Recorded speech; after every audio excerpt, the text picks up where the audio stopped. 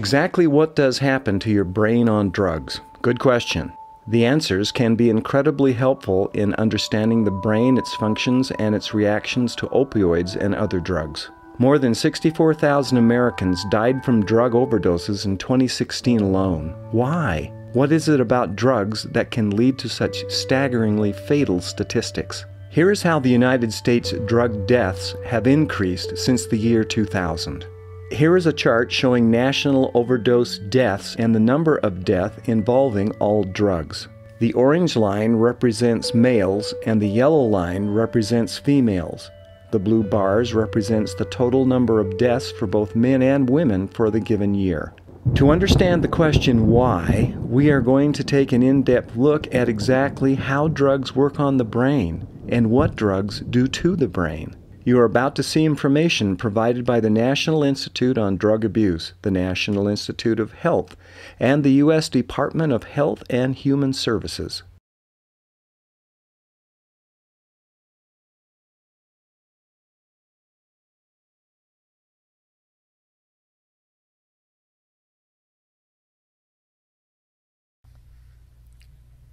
The brain is central to our existence.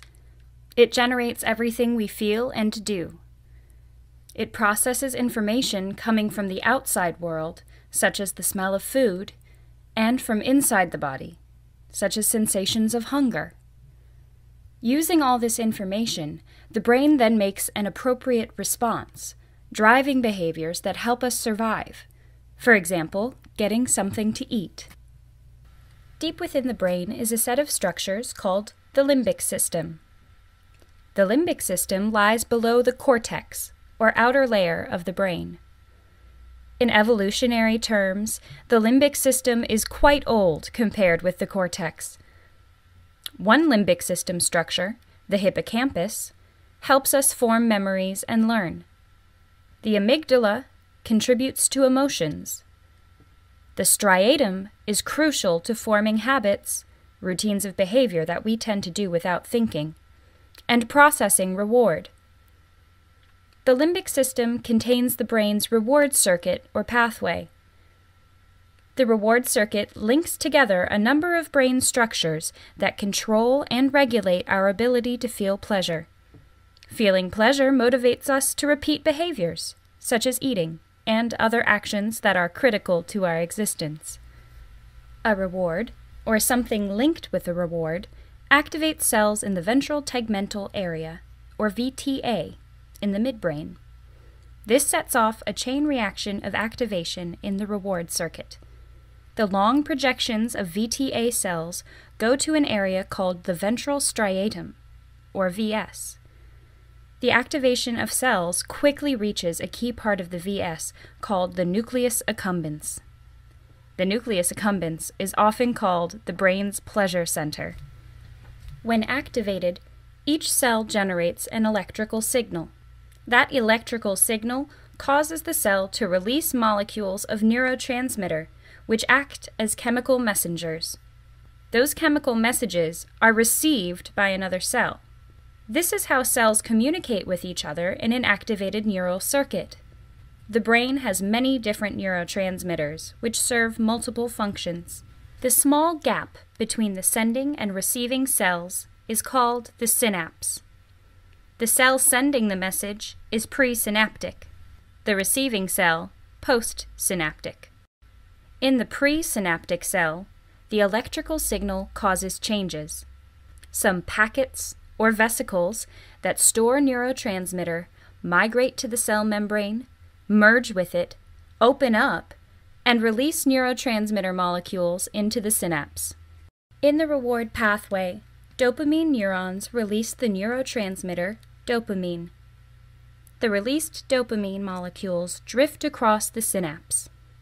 They link up with proteins called dopamine receptors on the surface of the receiving cell. These receptors span the receiving cell's membrane, with part on the outside and part on the inside of the cell.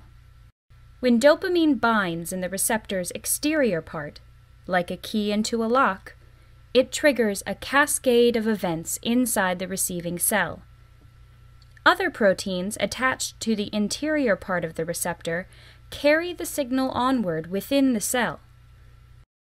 When there is excess dopamine, and as these molecules drop off receptors, they are free in the synapse again. Some dopamine molecules re enter the sending cell via a special protein called a dopamine transporter on the sending cell's membrane. Back inside the cell, these dopamine molecules are now available for re release. In a healthy brain, there is always a moderate level of dopamine in the synaptic space, even in the absence of rewarding stimuli. When a reward is encountered, such as food, the presynaptic cell releases a larger amount of dopamine in a sudden burst. Dopamine transporters will then quickly remove the excess, returning the amount of dopamine to the original level. Dopamine surges in response to natural rewards help the brain learn, adapt, and navigate a complex world. Normal cycling of dopamine release occurs in the VS, activating the entire striatum and limbic areas. Activation of the reward pathway has a far reaching impact throughout the brain. From the VS, the reward pathway extends to the prefrontal cortex, or PFC. The PFC powers our ability to think, plan, solve problems, and make decisions. The reward system influences the limbic system and the areas of the cortex that process sensory and motor information. Reward system activation also influences the cerebellum in the back of the brain, which affects coordination of movement as well as attention. Normal activation of the reward system creates a physical imprint on the brain that links certain stimuli with rewards that satisfy biological needs, such as food, and make us want to fulfill those needs by seeking out those rewards. Once the brain associates a stimulus with a reward, just seeing the stimulus can trigger a surge of dopamine in the reward system. When someone first uses cocaine, the drug quickly enters the brain, where it blocks the transporters on the presynaptic cell. Since dopamine cannot re enter the presynaptic cell, it begins to accumulate in the synapse, where it can reach abnormally high levels and remain there much longer than usual. The postsynaptic cell becomes hyperactivated, which produces a feeling of euphoria this creates an incredibly powerful association between cocaine and pleasure, making a person want to repeat the experience of taking the drug. When someone first uses methamphetamine, the drug quickly enters the brain. At low doses, meth blocks the re entry of dopamine into the presynaptic cell, just like cocaine does.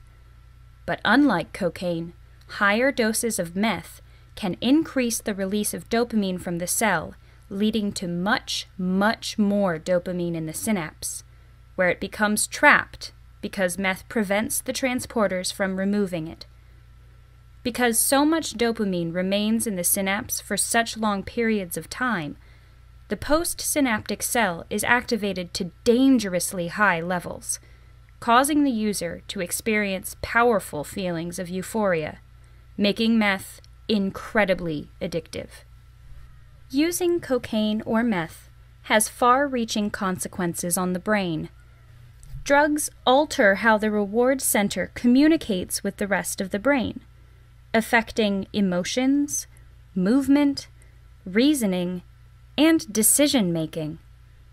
The repeated, frequent use of these drugs can change the actual wiring throughout the brain.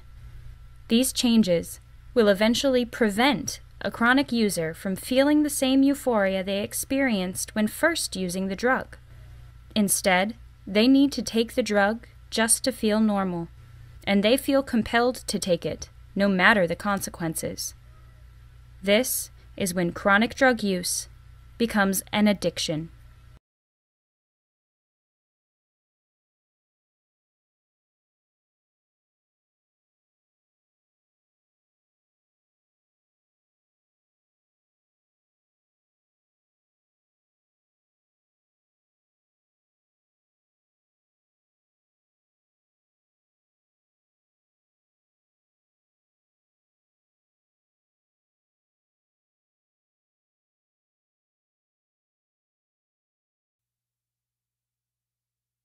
To learn more, the Institute for Addiction Study has made a film that compares the structural areas of the brain to the desert landscapes of Utah. This film, called Pleasure Unwoven, uses understandable topography to illustrate the complicated structures of the brain and what happens to the brain under the influence of drugs. Beautifully written and narrated by Dr. Kevin McCauley, this film makes a difficult subject much easier to understand. You can find the link to view Pleasure Unwoven in the description. Don't give in or give up. Together we can make a difference.